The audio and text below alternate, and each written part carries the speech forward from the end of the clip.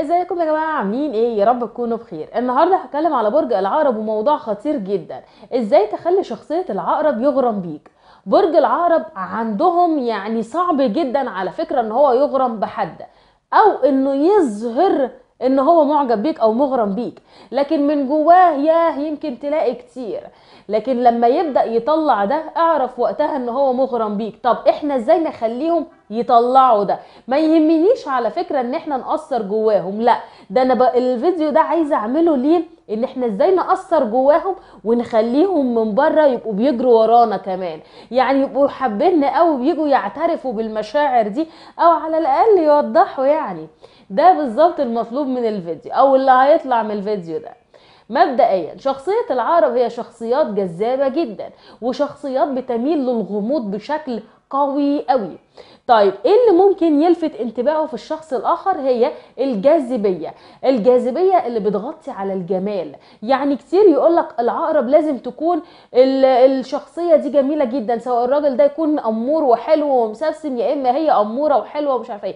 لا هم بيميلوا للجاذبية. يعني في أشخاص وأنا يمكن قلت ده قبل كده في شخصية ممكن تكون قد إيه ملامح إيه وشكل إيه. وتقول إيه دي؟ دي جميلة جدا. تيجي جنبها واحدة أنت ممكن تقول عليها عادية. يعني هي شخصية عادية جدا بس الجاذبيه فيها قوية فتميل ليها أكتر ما تميل للي مش عارفة إيه. فاهمين أقصد إيه؟ فده دايما تلاقي إن برج العقرب بيميل للشخصية الجذابة بشكل قوي. من حيث شكلها ملامحها بتخطفك فيها هي من الآخر رجل العقرب بيميل إلى المرأة الجذابة. كشكل وكأنثى. والمرأة العقرب بتميل للرجل اللي هو يعني تحس إن هو رجل يعني. ما بيغويش ما بيغويهاش إن الشخص ده يكون شكله إيه وإيه وإيه. لا هو شكله رجل. سواء بقى أمور مش أمور ايا كان مش القصة. فاهمين أنا أقصد إيه؟ اللي هي الجاذبية بشكلها الكامل. طيب دي نقطة مهمة جدا. فاذا إنك تكون شخص محافظ على آه انت بنوتة محافظة على أنوثتك انت راجل تكون شخص راجل كده خشن كده. فدي أول حاجة. الحاجة التانية إنك تكون شخص غامض. يعني هقول لكم على حاجة كده ونتكلم بطريقة كده بلدي شوية يعني خلينا كده ولاد بلد. اللي هو إنك أنت تحاول تجذب شخصية العقرب إنك تبدأ تبص لهم كتير. ابدأ إن أنت زي كأنك اللي هو متابع خطواتهم. بس أول ما تحس إن هم هيبتدوا أو خلاص إن هم لاحظوك أو هيشوفوك أو إن ابدأ كون غامض فعليا فعليا. إيه ده يعني أنت أبقى كون واضح في الأول وبعدين أبقى غامض؟ لأ أنت مش واضح. أنت هتوضح إن أنت غامض. إن أنت واضح. يعني هت... هتبين ده. ليه؟ لأن هم عارفين إن أنت بتمثل. هم عارفين ده. على فكرة برج العقرب أذكياء فوق ما تتخيل سواء رجل أو مرأة. وعندهم كمان إحساس قوي يحسك كده. أنت أنت بتمثل. أنت عايزني إن أنا أنجذب ليك صح؟ فيبدأ ده. أهو ده اللي أنا عايزاه إنه يدخل جوه قلب برج العقرب. إن هم يعرفوا إن أنت بتمثل وإنك عايزني ابص لك أو أنجذب لك.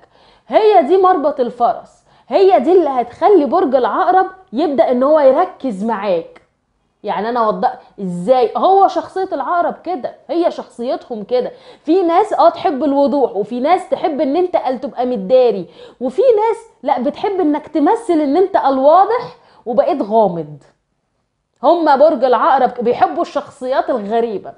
فدي أول حاجة. بعدين تكون شخص غامض عشان هو هيبدأ يركز معاك. أول ما أنت تكون شايف إنه هيركز أو هتركز معاك ابدأ كون غامض. يعني أبعد عنهم. لا كون غامض مش تبعد عنهم. كون غامض يعني تعامل عادي جدا. داري مشاعرك بس وعادي جدا جدا جدا. وفي نفس الوقت لحظة من اللحظات اهتم. لحظة من اللحظات اهتم. سواء تعبان صحيا مالك ألف سلامة. أو إني مش عارفة إيه حصل أنا حبيت إن أنا أسأل عليكي كذا كذا. وبعدين لم تاني وكون شخص عادي. اللي ما بينا ازيك سلام أو ما بينا شغل أو ما بينا وضع دراسي ايا كان اللي بينا إيه إن إحنا نميل إلى العادي. دي نقطة مهمة جدا. بس خلي بالك بقى وانت بتتعامل معاه من ال social media بتاعتك لأنه بيراقبك. برج العقرب شاطر جدا في المراقبة. بس شاطر جدا إنه مش هيوضح لك إنه بيراقبك ولا كمان حاجة فارقة. بس غصب عنهم بيبان في لمعة من عينيهم. دي نقطة مهمة جدا. فإذا إنك تبتعد عن الموا- المواقع التواصل الاجتماعي إن أنت توضح عليهم أي حاجة. فسوة ما توضحش. داري نفسك. إن شاء الله ما تنزلش أي حاجة طول الفترة دي حتى لو هتقعد سنة. فدي نقطة مهمة جدا. طب خلي بالكم من نقطة برضو مهمة إن العقرب ما بيقعش بسرعة. قلبه بيقع بسرعة من جواه بيقع بسرعة لكن ظاهريا بياخد فترة على ما يقع. عشان كده بيبقوا صعب إن هم ينسوا جدا. طيب عامة دي بعض الخطوات. في خطوات تانية أعملها عشان يغرم بيا جدا؟ آه. هما من النوع اللي ما بيحبوش البخل وبيحسوه. بيحسوا الشخص البخيل سواء رجل أو مرأة. فبالتالي بيحبوا الشخص ولا على فكرة ولا بيحبوا إن هو أنت إن أنت تكون مبذر يعني. لا أنت تكون الحياة الوسط الحياة العادية. فبالتالي هيكونوا منجذبين ليك أكتر. لا إنما لو ظهرت بخل وإن أنت حاول لو فيك الخصلة دي إنك لازم تبعد عنها فورا. هي مش هي مش هيفكروا فيك. فنقطه مهمة جدا. طيب حاجة برضو مهمة. ليها علاقة بالأناقة والشياكة والإتيكيت في التعامل. طول ما أنت شخصية وطول ما أنت محافظ جدا على مظهرك وأناقتك وشياكتك و- ولياقة جسمك والكلام ده كله طول ما هم يكونوا مركزين معاك. لأن بصراحة بيجذبهم المظهر جدا وبيجذبهم الجسم وتنسيقه.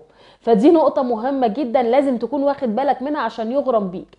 بصوا المظهر العام من حيث الجاذبية ككل حاجة كشكل وكلياقة وي وي وي لازم تكون مية مية. الحاجة التانية إنك تكون غامض وقلنا حتة رسم ال- الوضوح دي شوية. كمان إنك تكون شخص مسؤول. يعني يكون مطمن وهو معاك. يعني يكون عارف إنه لا هيتخان ولا هيتغدر بيه. كل كل ما هو شايف إنك شخصية تستاهل وشخص يصدر منك الأمان يبدأ إن هو يخاف إن هو يبعد عنك. يقول لك لا ده أنا ألحقه. ده أنا أقرب منه. يبدأ يظهر لك مشاعر. صدقوني بجد برج العقرب يمكن يمكن أكتر حاجة بيتظلموا فيها إن هم بيتقال عليهم إن هم خاينين. هم مش خاينين هم بيدوروا على الناس اللي هي تكون مصدر الأمان. يعني بيخافوا إن هم يتخانوا. أو البرج اللي أنتوا بتقولوا عليه برج خاين هو أكتر برج بيخاف إنه يتخان. شوفوا بقى بيخاف إنه يتخان من قبل ما يرتبط. برج غريب كده وجميل كده. المهم فدي نقطة مهمة جدا. كل ما أنت تكون شخص أمين كل ما يكون بيقرب لك أكتر. كل ما تكون شخص مسؤول يعني بتشتغل و- وقدامك مسؤولية ومتحمل الحياة وهو يشوف فيك إن أنت يشوف فيك إن أنت أم تشوف فيك إن أنت أب. يعني قدوة لأولادنا ده هيكون شيء مميز جدا جدا يخليهم يفكروا أكتر أكتر ويغرموا أكتر. وعلى فكرة كل دي نقاط إحنا بنقول إن هو ها يعني بنحرك لسه الدنيا.